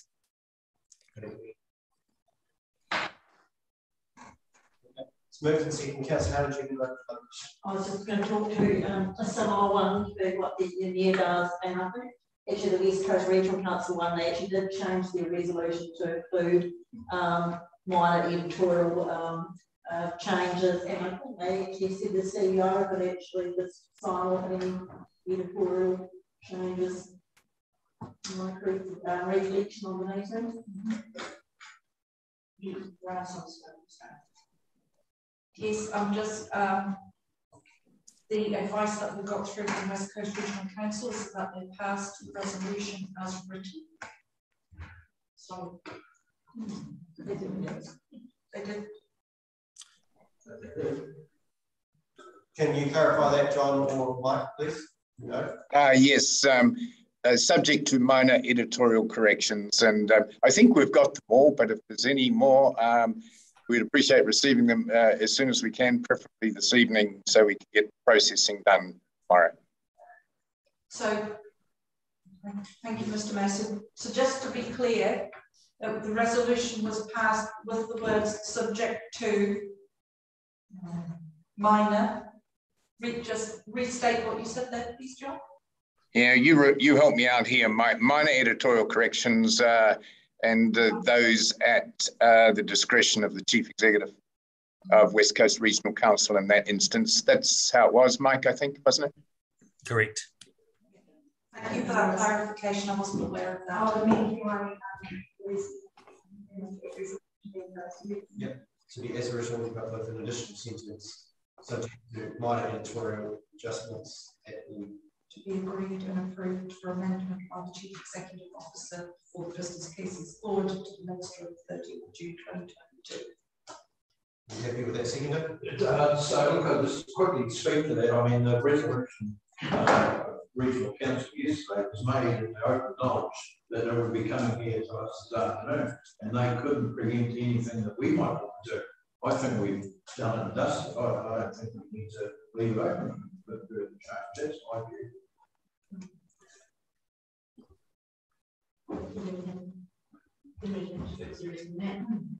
So I'll move on to page 81. No, we're not. No, no, we can provide them. Yeah, um, could I suggest that the council already has any amendments, that she marks them up on my copy that I've marked it up on, and that we scan this copy and we send it through to John and yes. Mike by this evening, rather than because I don't want to go through all the pain every small amendment. In my view, that we're talking about spelling mistakes, full stops, that kind of thing.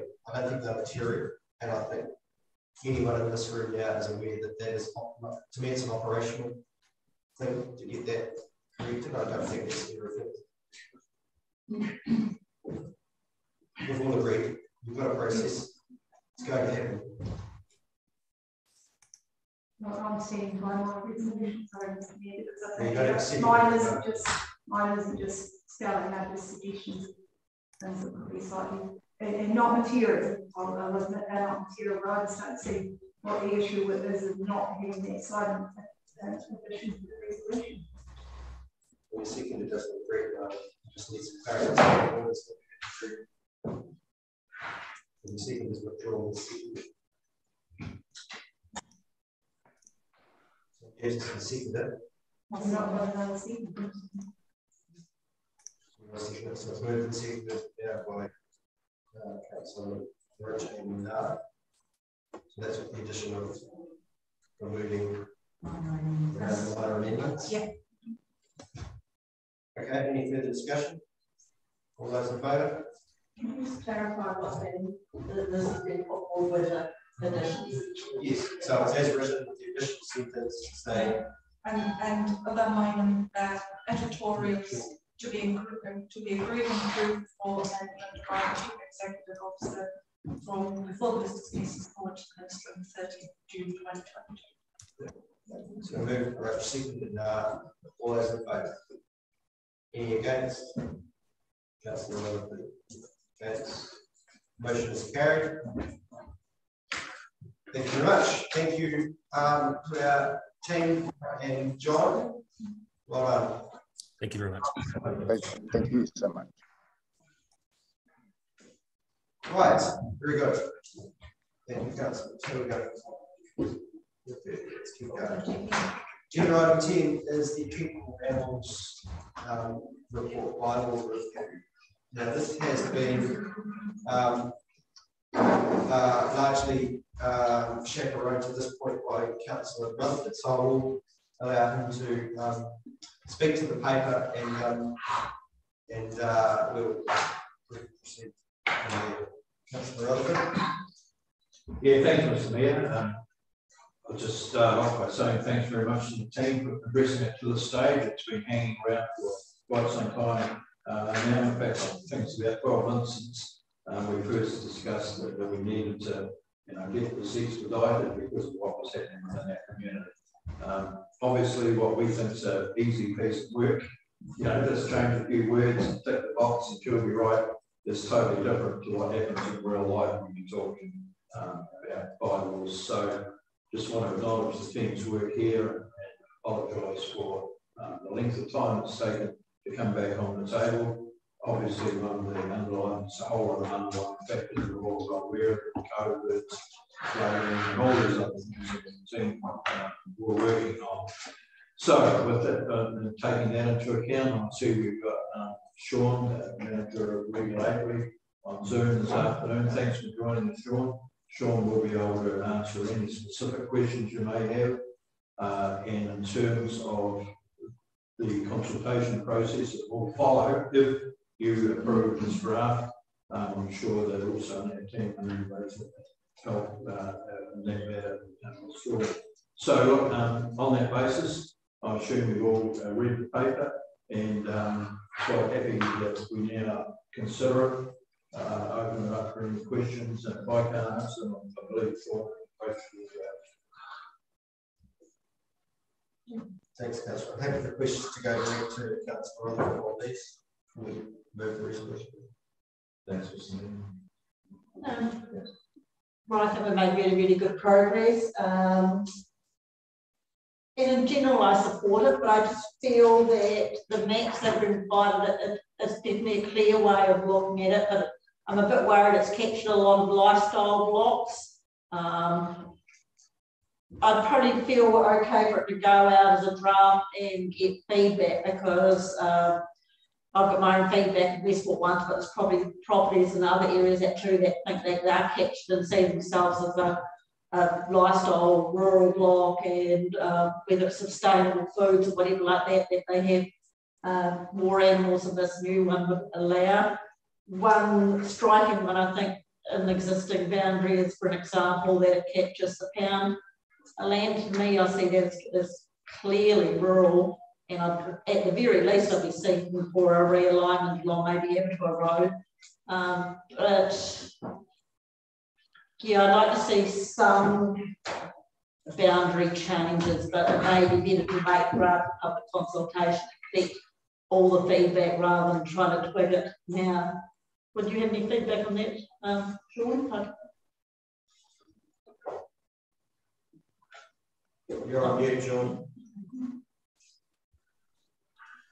Thank you uh, for the question, Councillor. Uh, look, look, absolutely. Um, the maps, I'd imagine, would would um, have some responses during that process, consultation process. Um, we've done our best to go through each one, but yeah, I'm sure there's some little tweaks um, that will make them slightly better.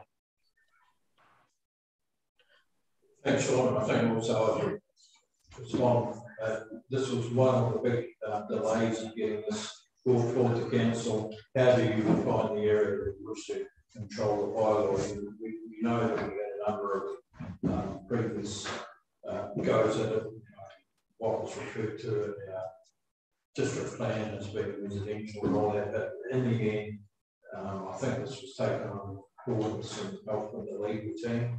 Uh, believe you're correct in saying that. So as, as um, Madam Shaw quite rightly points out, when we go to consultation, there will be an opportunity for people who fall within that affected area to, to submit to the uh, Councillor Yeah, yeah um, yes, I just had a question around the um, Article 12, page 234, um, the keeping of pigs in an urban area. and it, it, it says more than in brackets no number of pigs.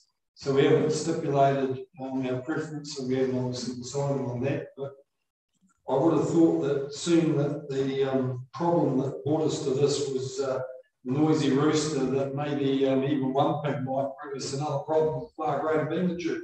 So um, I just wondered how your feelings were around keeping pigs in an urban area.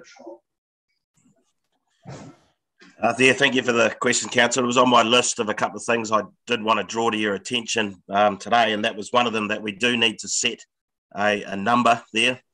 Um, in terms of my my views on that, uh, I guess we, we haven't had many calls or many issues regarding pigs for sure, but um, I would think anything more than two could um, become problematic. So it is something we'd ask you to turn your mind to. Um, just a couple other important things I think, um, if I may just raise. Um, since you last saw it, it has had quite a bit removed from it. Um, the legal team and myself went through it line by line and did remove quite a bit of um, the content. A lot of that was positive uh, realigning and making sure that um, wording was consistent through the document and then extra wording that wasn't required where it refers to other acts that just weren't needed in the view of the legal team have been struck out but i guess the intent hasn't changed. And then the other little thing i would like to add is um, um, we, we had were seeking clarification around any ability for instant infringements and that was ruled out. Uh, and then there was a power of seizure which um, appeared in this uh, first draft and been removed instead and relying on section um, 165 of the local government act. So that that part of it has been removed which which is a, a power of seizure via that act via a warrant. So i just wanted to draw that to your attention. But yeah certainly coming back to the the pigs um, i haven't had any complaints off the top of my head in regards to those in, in recent years uh, thanks, uh, Sean, and, thanks, Councillor Hawes. Clearly, um, if we are going to adopt the recommendation, we've got a number of people can't open So, you know, when we come to the draft recommendation, um, I've already mentioned uh, additional reference to that clause, and we'll take advice on that. So, just, uh, well, from what I'm hearing from, uh, um, you know, there hasn't been an awful lot of complaints, and he's suggesting perhaps two um, is a number, so I'll throw that up into the mix. But I'd also like to acknowledge Sean um, uh, concern, the concerns around um, some of the very stringent uh, build requirements for um, keeping for hen houses has been removed, which I acknowledge, and um, I think you've um, really well encapsulated the uh, the need to keep the conditions um, you know, clean and tidy and um, nuisance free. So I think that's really you freed that up. So I just want to acknowledge that. And I suggest we go two pigs, um, which was Sean's initial thought. Thanks, uh, Councillor Also, you, you clearly received in the paper that there are two suggested uh, recommendations, but I pretty sure that it's either or, one it's either one or the other. Am I correct in that understanding, uh, John? That is correct.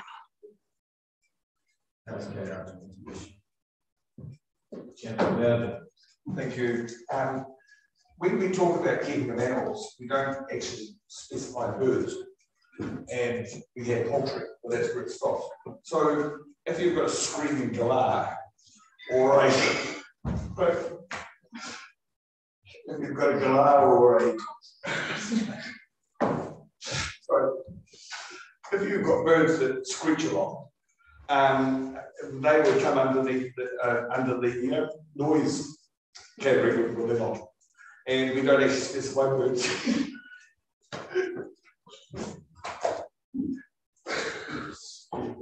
Uh, that was actually a really serious question. Yeah. our birds, our birds, uh, is there any provision anywhere here? I can't see it, which which has birds and and um, uh, those who might create this service.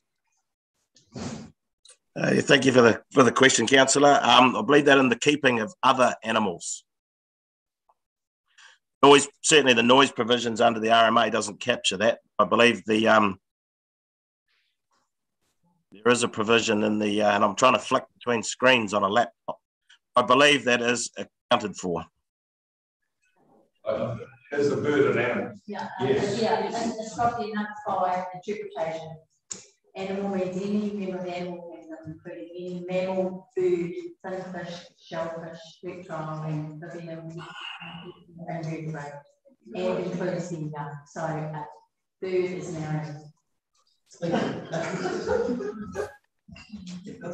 Just a comment to the very so includes humans, so street or partner or neighbour, you could be counted. Thank you, thank you for some uh, creative thinking. Um, I think we need to carry on with the bylaw, and I don't think it's about the description neighbour. Um, I do pick up that the uh, bird is undefined as being an animal, and there is a section on keeping of animals which cover uh, those concerns where it's like about private. We've got one for Is it further? Councillor John. Number seven, keeping your cats in the urban area. You have to get permission from council, uh, Sean. Um, how long would that permission be granted for? Isn't for cats?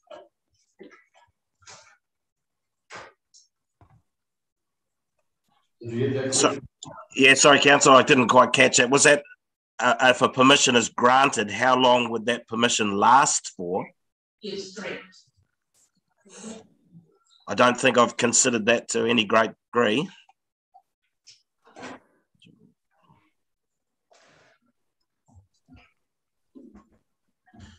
Would sorry, sorry, if this helps.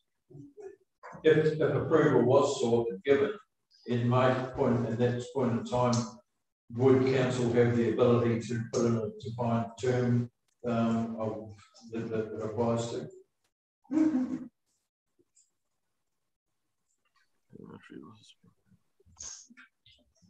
Sorry, Sean, did you get that? Partly, you are a little bit hard to hear, but um, look, I, I don't know the answer how long that permission would would last for. Um, and that is something we'll just have to look into if we if we um, want to um, flesh that out.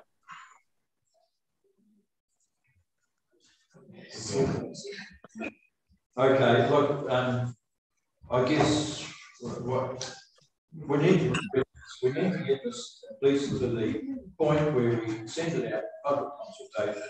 Otherwise, it's just going to carry on and I don't want to see that. Um, I'm sure none of you here do. Uh, uh, are you okay that we actually move one of the recommendations and probably it'll be recommendation two with the following operation, and that operation will be the number of pigs, two being two, uh, and on that basis, if, if the council are prepared to consider that recommendation, move on, and then we know we, we can put it out to consultation. Is it, am I being unreasonable? I'll move it. Okay. Moved and seconded. Any further discussion? Carried. Thank you, team. Um, I'll now leave it open to our team to progress this. And I guess um, between Sean and Rachel, we'll come up with a plan to get this out to the public.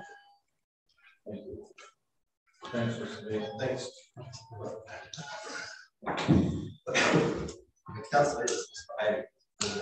Right, thank you very much. Agenda item eleven, which is the Clean Waters Reform Better Off Public Proposed Initiative. Want to speak to the That's okay. Great, thank you. Good afternoon, councillors.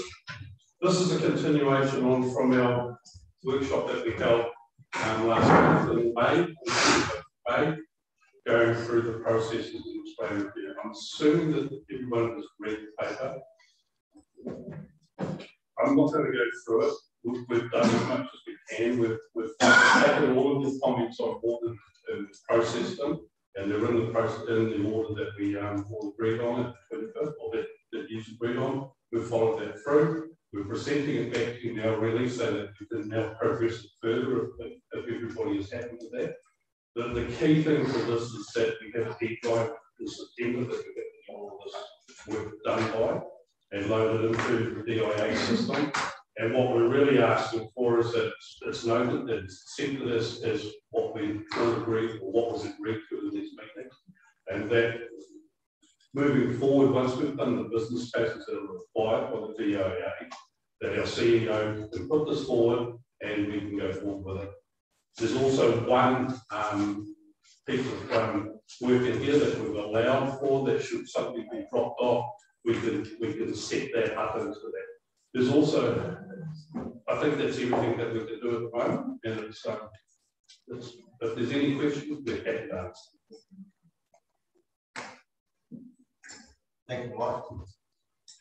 So just just for clarity, what we're putting here is this list, which then effectively uh, authorises you to do the detailed work up that's going to be required to satisfy the application to into the UMS process.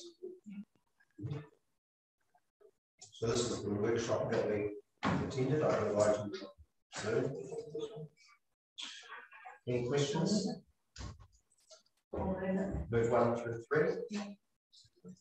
Second, Councillor Bougen. Move uh, second, Bougen. I'll open it for uh, questions. You want to speak to it? Okay, questions, discussion? Oh, yeah, not really. Um, there's a number of things on it, and it's sort of deviated a bit from what was first approved. Um, no issues about the wastewater. Um, as stated at the time, 500,000 for climate change, I thought was excessive. Um, and then I believe that we should be more like 350. The civil defence, um, I have issues there, the fact that we haven't had a civil defence person, how those figures have been arrived at. Um, and I'm just very conscious at the present time of figures not being as close to reality is what they should be. Um, airport relocation should be with the um, climate change because I see that one and the same. Um, the relocation should be with the climate change um, one member of and other issues. But I have a very serious concern about the Parramatta $65,000 for what? Um, I've had a breakdown of the costs incurred um, from a paper that wasn't accepted. And now that's accept, we're expected to um, use business money to pay for the costs that um, were incurred for a paper that didn't ahead. And just 35,000, I've got a breakdown, some goes back, 35,000 over the last two and a half years, to me is excessive. I stated when I spoke earlier that nine different people have input, plus consultants, and legal um, into that report. Probably six of those people are still at council, and I just feel that that money should come out of their budgets, not to be taken out of business money, because we have to really consider, and even with the next item, I feel quite uncomfortable with some of those costs, and we have to look at the reality. Because if you go back to this water one, the figure that we were looking at was 480 plus 20, 25% if we have gone the water tanks, which we have, it up to 600,000. Councillor, read this Or I, the point I'm trying to make is the fact that you accepted $600,000 and you gave 100,000 which I'm that cost was out of kilter. And I'm saying I don't think the best of should be picking up the costs of consultation that didn't go in. So I will deal with your questions. Um, can, can somebody clarify or talk a little bit through what climate change budget is? I presume it relates to our strategic document. Yeah, thanks, Mr. Mayor. Look, look, obviously, I'm going to support the expenditure on climate change. We do, it's in our LTP, uh, we consult with the community. They see it as being very important moving forward. We have got rather limited amounts simply because, again, don't want to, uh, we don't want to get into a position where our ratepayers find it unaffordable to deal with a, an issue that's extremely important. We're, we're dealing with this on almost daily, if not weekly basis. Mean, we had, we've had some discussion recently about what's happening out, out in our community, out in Northern Buller, Granity, there, all those um, effects of climate change, we need, we need to show that we understand the importance of this work. If we're going to have any credence in terms of working with the central government when it comes to the national adaptation plan, which is well underway and we've already submitted on, all these things are going to result in some type of arrangement between local authorities and the central government as to how we are going to deal with the, all the issues in our district created by climate change not just here in board, but right across the, the, the, uh, the district. I think the sooner we can deliver on this work, the better it will be, both in terms of our community and in terms of our relationship and understanding the central government when they come to look at those people who may or may not need some type of assistance moving forward. The, we can show that we've seriously considered all those all those matters and we're right up front, we're there in the leading the pack in terms of how we want to manage the risks that we'll, will be identified through this process, um, then the better off we'll be. So I fully support the, the 500. I, I know that there's been a bit of a breakdown um, from our team in regards to how that might, that expenditure will roll out in terms of the uh, our commitment under the LTP. So I don't know if I can say more than that, otherwise except to say I believe that weeks ago, Thank you. Is there anything we want to start with around climate change? So the other question was around the civil defence um, scheme. At this early stages, there is yes. around what that is. And um, I know, just yeah. councillor um, Yes. Just so we did an analysis on on the last few operations that we've worked in there.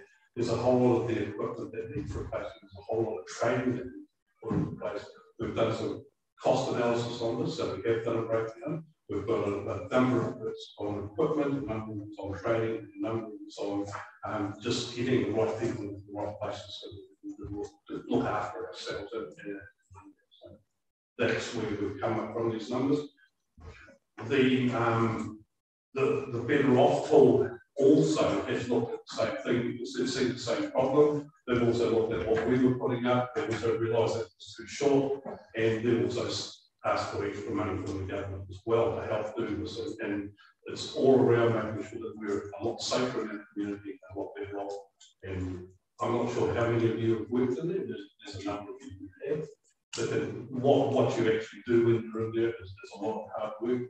But the, the situation that we're in, we're very so much and this is hopefully going to bring it up And those costs have been mainly around electronics, computers, you know, workstations for people, new new TVs so that you can see what's going on and understand what the processes are. So that's where we've gone, just so that you understand we did, we did do a full analysis on it. And we've come back with these costs, and this is probably on the light side because as, as you saw in the off talk, there's a lot more money that's needed put into the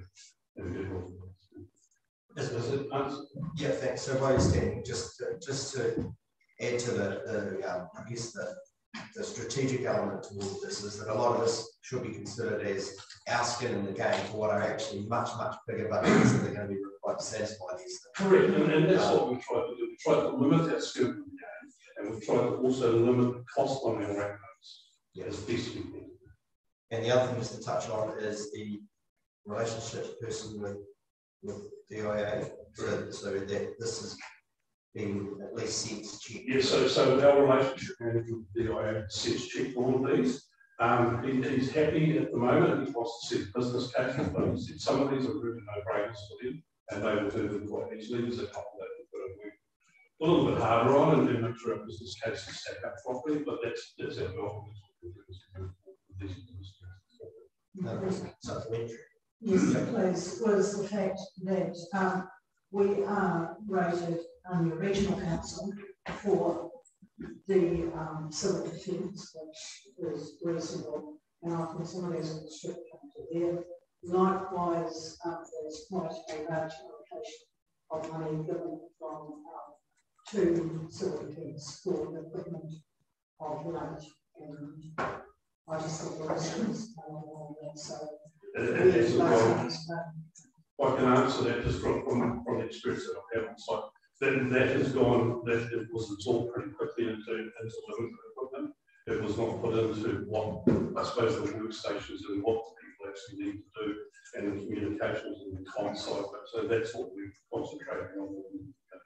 And our partnership agreement into the West Coast Emergency Management um, has obligations on the council to, to provide um, certain level of stuff that our rate seem to provide in terms of equipment. This reflects that. And training and stuff.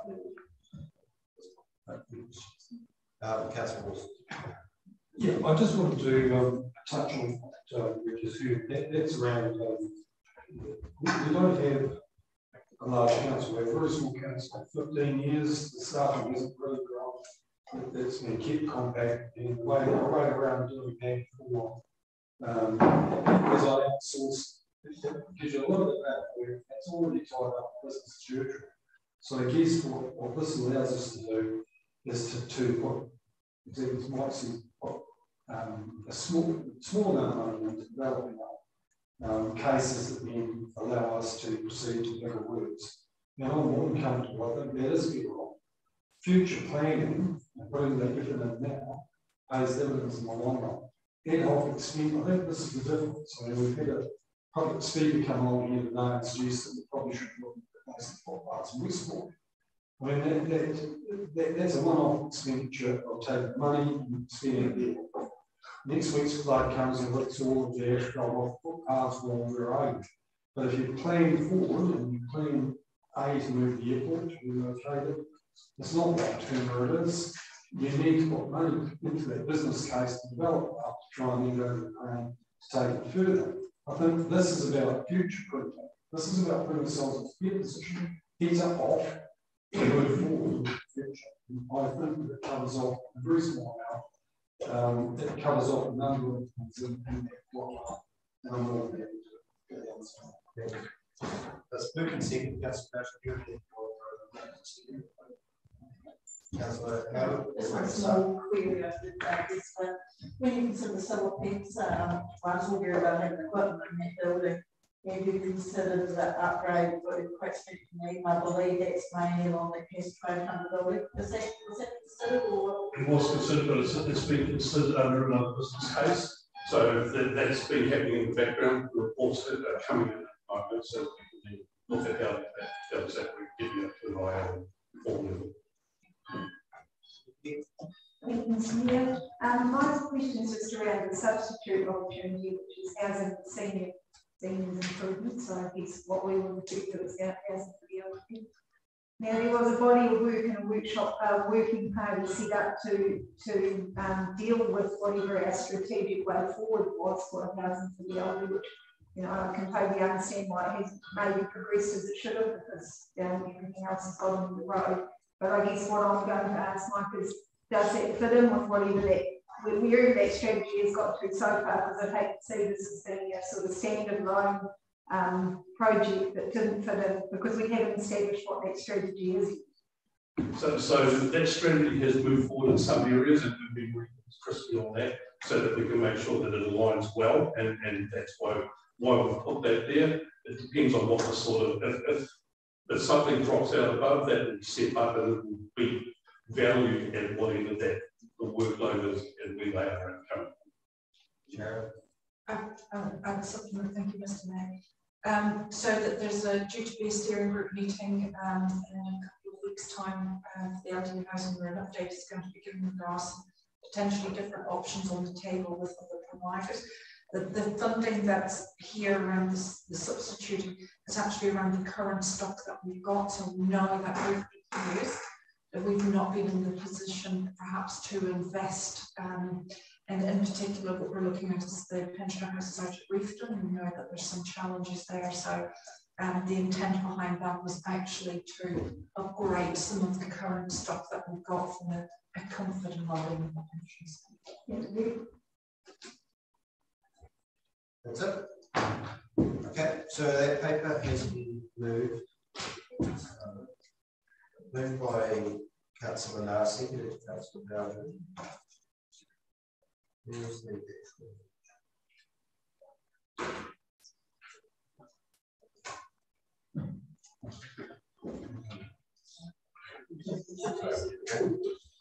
So, one that we know the report to improve the initiatives outlined in this report's progress to detailed business case development and improve the corresponding business case to be submitted to the Department of Internal Affairs. We completed. Moved one, all three been moved by Councillor Nasi and Councillor Bowden. All those in favour? Any against? It's carried unanimously. Thank you. No, no, Stop. No. Sorry. Sorry.